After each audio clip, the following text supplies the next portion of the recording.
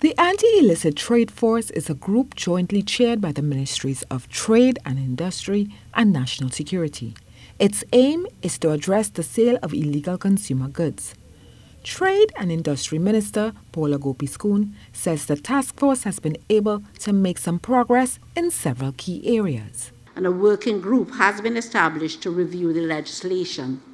The Working Group on Pharmaceuticals, Cleaning Agents, and Alcohol have already begun developing and executing recommendations for combating illicit trade in these sectors.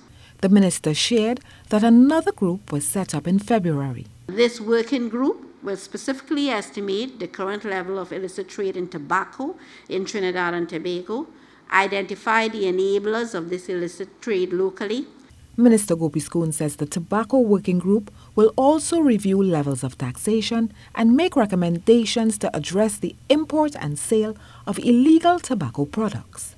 The ministry will also launch an, a nationwide awareness campaign at the end of this month, March, aimed at improving consumer identification of illegal goods and building awareness of the impact of illicit trade on our local businesses and the potential health risks into consumers.